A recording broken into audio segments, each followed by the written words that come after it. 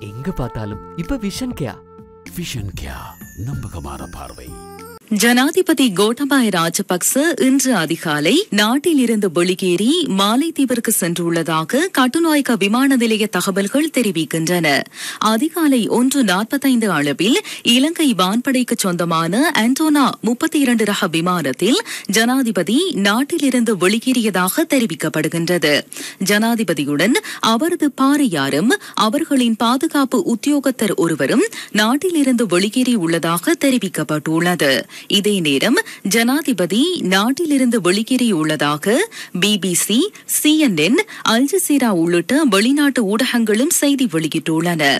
முன்னாள் அமைச்சர் பஷில் ராஜபக்ச அமெரிக்கா நோக்கி பயணமாகியுள்ளதாக தகவல்களை மேற்கோள் காட்டி பிபிசி தெரிவித்துள்ளது. எனினும் அது குறித்து இதுவரையில் தகவல்கள் உறுதிப்படுத்தப்படவில்லை. இதேவேளை ஜனாதிபதி கோட்டபாய ராஜபக்ச இன்று தமது பதவியிலிருந்து விலகுவதாக சபாநாயகர் நாயகர் மஹிந்த யாப்பா அபிவர்தன அண்மையில் தெரிவித்திருந்தார். இது குறித்து இன்று காலை எமது செய்தி சேவை வினவிய போது பதிலளித்த சபாநாயகர் ஜனாதிபதியின் பதவி விலகல் தொடர்பான உத்தியோகபூர்வ கடிதம் இதுவரையில் தமக்கு கிடைக்கவில்லை என தெரிவித்தார். தமது பதவியிலிருந்து ஜனாதிபதி கோட்டபாய ராஜபக்ச விலகினால் எதிர்வரும் பதினைந்தாம் திகதி நாடாளுமன்றத்தை கூட்டுவதற்கு கட்சி தலைவர்கள் தீர்மானித்துள்ளனர். சபாநாயகர் மஹிந்த யாப்பா அபிவர்தன தலைமையில் கடந்த பதினோராம் தேதி இடம்பெற்ற விசேட கட்சி தலைவர்கள் கூட்டத்தில் இந்த தீர்மானம் எட்டப்பட்டது. ஜனாதிபதி பதவி விலகினால் எதிர்வரும் பத்தொன்பதாம் தேதி அடுத்த ஜனாதிபதியை தெரிவு செய்வதற்காக நாடாளுமன்ற உறுப்பினர்களுக்கிடையே வேட்புமனு கோருவதற்கும் இருபதாம் திகதி வாக்கெடுப்பை நடத்துவதற்கும் குறித்த கட்சி தலைவர்கள் கூட்டத்தில் திட்டமிடப்பட்டதாக அமைச்சர் பிரசன்ன ரணதுங்க தெரிவித்தார். இவ்வாறான பின்னணியில் நேற்று விசேட அறிவிப்பொன்றை விடுத்த ஜேவிபியின் தலைவர் அனுருகுமார் திசாநாயக ஜனாதிபதி பதவி விலகுவதற்கு முன்னர் பிரதமர் பதவி விலக வேண்டும் என குறிப்பிட்டுள்ளார். ரணில் விக்ரமசிங்க சூழ்ச்சிகள் மூலம் முதலில் பதில் ஜனாதிபதியாகி பின்னர் நாடாளுமன்றத்தில் வெவ்வேறு முறையில் உறுப்பினர்களை விலைக்கு வாங்கி தமது பெரும்பான்மையை நிரூபிக்கும் ஜனாதிபதி ஆவாரெனில் கோடபாய ராஜபக்சவுக்கு ஏற்பட்ட துரதிருஷ்டவசமான முடிவை விடவும் மோசமான முடிவு அவருக்கு ஏற்படும் என அனுரகுமார திசாநாயக்க தெரிவித்துள்ளார். அதே நேரம் கொழும்பில் நேற்று இடம்பெற்ற ஊடக சந்திப்பில் கருத்து வெளியிட்ட ஸ்ரீலங்கா சுதந்திர கட்சி தலைவரான முன்னாள் ஜனாதிபதி மைத்திரிபால சிறிசேன நாட்டை பொறுப்பேற்க தற்போது போட்டியொன்று உள்ளதாக குறிப்பிட்டுள்ளார். போராட்டத்தில் ஈடுபட்ட தரப்பினருடன் பேச்சுவார்த்தை நடத்தி அரசியல் அமைப்புக்கு அமைய செயற்பட வேண்டிய பொறுப்பு அனைவருக்கும் உள்ளது. பிரதமரும் பதவி விலக வேண்டும் என்றே நாட்டு மக்களும் போராட்டத்தில் ஈடுபடுகின்றவர்களும் கூறுகின்றனர். அந்த குரலுக்கு செவிசாய்ப்பதே முக்கியமானதாகும் என முன்னாள் ஜனாதிபதி மைத்ரிபால சிறிசேன தெரிவித்துள்ளார். அரசியல் அமைப்பு மற்றும் சட்டத்தின் ஆட்சி என்பனவற்றை பின்பற்ற வேண்டியதன் அவசிய தன்மையை வலியுறுத்தி இலங்கை சட்டத்தரணிகள் சங்கம் அறிக்கை ஒன்றை வெளியிட்டுள்ளது.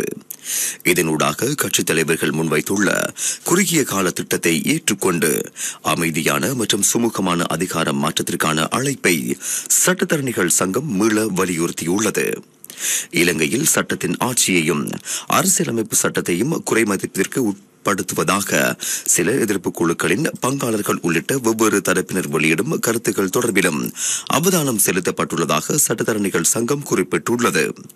இந்த தீர்மானமிக்க சந்தர்ப்பத்தில் இலங்கை பிரஜைகள் சட்டத்தின் ஆட்சிக்கு மதிப்பளிப்பது அவசியமானதாகும் என்பதுடன் ஜனாதிபதி மாளிகை மற்றும் அலரி மாளிகை உள்ளிட்ட இடங்களில் இடம்பெறும் முறையற்ற செயல்கள் குறித்து அதிக கவனம் செலுத்தப்பட்டுள்ளது. குறித்த கட்டடங்களின் பொறுப்பை உரிய அதிகாரிகளிடம் ஒப்படைக்குமாறு அங்கு இருக்கின்ற தரப்பினரிடம் சட்டத்தரணிகள் சங்கம் கோரிக்கை விடுத்துள்ளது. கொழும்பு மாவட்டத்திற்கு மேலதிகமாக ஏனைய பிரதேசங்களுக்கும் இன்று முதல் சமையல் எரிவாயு கொள்கலன் விநியோகிக்கப்படவுள்ளதாக லிட்டோ நிறுவனம் அறிவித்துள்ளது. இன்று முதல் நாளாந்தம் ஐம்பது எரிவாயு கொள்கலன்கள் விநியோகிக்கப்படவுள்ளதாக அதன் தலைவர் முதித்த பீரிஸ் தெரிவித்துள்ளார். கொழும்பு மாவட்டத்திற்கு இன்றைய தினம் நாற்பதாயிரம் எரிவாயு கொள்கலன்கள் விநியோகிக்கப்படவுள்ளதாக அவர் குறிப்பிட்டுள்ளார். இதே நேரம் மேலும் மூவாயிரத்து எழுநூற்று இருபத்தைந்து மெட்ரிக் டன் எரிவாயு தாங்கிய கப்பல் நேற்று மாலை நாட்டை வந்தடைந்தது. கடந்த பத்தாம் திகதி மூவாயிரத்து எழுநூறு மெட்ரிக் டன் எரிவாயு தாங்கிய கப்பல் நாட்டை வந்தடைந்ததை அடுத்து எரிவாயுவை விநியோகிக்கும் பணிகள் முன்னெடுக்கப்பட்டிருந்தன. குறிப்பாக கொழும்பு மாவட்டத்தில் கடந்த தினங்களில் எரிவாயுவை பெற்றுக் கொள்வதற்கு பொதுமக்கள் நீண்ட வரிசைகளில் காத்திருந்ததை அவதானிக்க கூடியதாக இருந்தது. நேற்று நள்ளிரவு முதல் நானூற்று ஐம்பது கிராம் நிறையுடைய பான் ராத்தல் ஒன்றின் விலை இருபது ரூபாவினால் அதிகரிக்கப்பட்டுள்ளதாக வெதுப்பக உரிமையாளர் சங்கம் தெரிவித்துள்ளது. அத்துடன் ஏனைய வெதுப்பக உற்பத்திகளின் விலை பத்து ரூபாவினால் அதிகரிக்கப்பட்டுள்ளதாக அந்த சங்கத்தின் தலைவர் என் கே ஜெயவர்தன தெரிவித்துள்ளார். இதன்படி நானூற்று ஐம்பது கிராம் நிறையுடைய பான் ராத்தல் நூற்று தொண்ணூறு ரூபாய் என்ற புதிய விலைக்கு விற்பனை செய்யப்படுகிறது. இதேவேளை கோதுமை மா விலையை அதிகரிப்பது தொடர்பில் இதுவரை எவ்வித தீர்மானமும் மேற்கொள்ளப்படவில்லை என செரண்டிப் நிறுவனம் அறிவித்துள்ளது. எவ்வாறு இருப்பினும் விலை அதிகரிப்பு தொடர்பில் கருத்து வெளியிட்டுள்ள வெதுப்பக உரிமையாளர் சங்கத்தின் தலைவர் என். கே. ஜெயவர்தன நிறுவனம் ஒன்றினால் கோதுமை மா கிலோ ஒன்றின் விலை முப்பத்தி நான்கு ரூபாவினால் அதிகரிக்கப்பட்டுள்ளதாக தெரிவித்துள்ளார். இதற்கமைய இந்த ஆண்டில் நான்காவது தடவையாகவும் விலை அதிகரிக்கப்பட்டுள்ளது. கோதுமை மாவுக்கு தட்டுப்பாடு நிலவுவதுடன் எரிவாயு எரிபொருள் என்பன இல்லாத நிலையுள்ளது. இந்த நிலையில் தற்போது வெதுப்பக தொழில்துறையில் ஐம்பது வீதமானவை மூடப்பட்டுள்ளதாக வெதுப்பக உரிமையாளர் சங்கத்தின் தலைவர் என் கே ஜெயவர்தன தெரிவித்துள்ளார். தற்போதைய நெருக்கடி நிலையில் புதிய அரசாங்கம் செயற்பட வேண்டிய முறைமை குறித்த யோசனைகளை அரச மருத்துவ அதிகாரிகள் சங்கம் முன்வைத்துள்ளது. கொழும்பில் நேற்று இடம்பெற்ற ஊடக சந்திப்பில் அந்த சங்கத்தின் மத்திய குழு மற்றும் ஊடக குழு உறுப்பினர் வைத்தியர் வாசன் ரத்னசிங்கம் இது தொடர்பில் இவ்வாறு விளக்கம் அளித்தார் இந்த நெருக்கடிக்கு மத்தியிலே தங்களுக்கு சுயலாபம் தேடும் விதத்தில் அல்லது தங்களுடைய கட்சிக்கு சுயலாபம் தேடும் விதத்தில் அரசியல்வாதிகள் செயற்படுவதை நாங்கள் காணக்கூடியதாக இருக்கின்றது. நிறைவேற்று குழுவானது பல்வேறு வேறுபட்ட முடிவுகளை எடுத்திருக்கின்றது. பிரதானமாக வழங்கப்படுகின்ற தீர்வுகள் நீதியானதாகவும் மக்களுடைய அபிலாஷைக்கு உட்பட்டதாகவும் இருக்க வேண்டும். அத்தியாவசிய பொருட்கள் பலவற்றிற்கு மக்கள் வரிசையில் நிற்க வேண்டிய நிலை ஏற்பட்டிருக்கின்றது. அத்தியாவசிய பொருட்களை பெற்றுக்கொள்ளக்கூடிய வகையில் அவற்றுக்கு தீர்வு வழங்கும் விதத்தில் முன்வைக்கப்படுகின்ற தீர்வுகள் யாவும் அமைய வேண்டும். இலவச கல்வியை தனியார் மயப்படுத்தவோ அல்லது இலவச சுகாதாரத்தை தனியார் மயப்படுத்தவோ அதிகாரிகள் அல்லது அரசாங்கம் முயற்சித்தால் அரச மருத்துவ அதிகாரிகள் சங்கம் எந்த ஒரு சக்தியுடனும் இணைந்து பாரிய போராட்டத்துக்கு பின் பின்னிற்காது எந்தவித குற்றச்சாட்டுகளும் இல்லாத நீதியான முறையில் செயல்படக்கூடிய உறுப்பினர்களுக்கு உரிய பதவிகள் மிகவும் முக்கிய பதவிகள் வழங்க வேண்டும் என்று தற்பொழுது ஏற்பட்டிருக்கின்ற பிரச்சனைகளுக்கு தீர்வு காணும் விதத்தில் பல்வேறுபட்ட கல்விமான்கள் இலங்கையில் இருக்கின்றார்கள். பல்வேறுபட்ட துறை சார்ந்த நிபுணர்கள் இருக்கின்றார்கள். அவர்களுடைய அபிப்பிராயம் பெறப்பட்டு துறை சார்ந்த நிபுணர்களுடைய தொழில்நுட்ப அறிவு பெறப்பட்டு தற்பொழுது ஏற்பட்டிருக்கின்ற பிரச்சனைகளுக்கு தீர்வை முன்வைக்க புதிய அரசாங்கம் முயற்சிக்க வேண்டும் என்று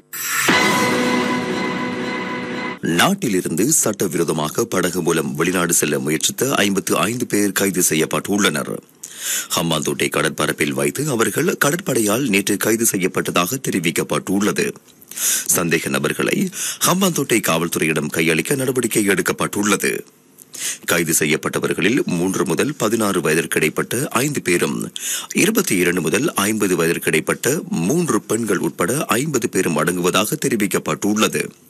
சந்தேக நபர்கள் முல்லைத்தீவு திருகோணமலை மன்னார் கிளிநொச்சி நிலாவளி வவுனியா உள்ளிட்ட பகுதிகளைச் சேர்ந்தவர்கள் என்றும் குறிப்பிடப்பட்டுள்ளது. இந்த செய்தி உள்ளிட்ட மேலதிக விரிவான செய்திகளுக்கு W W W dot Sooriyan FM news dot LK என்ற எமது இணையதளத்திற்கு பிரவேசியும் பிரவேசியுங்கள்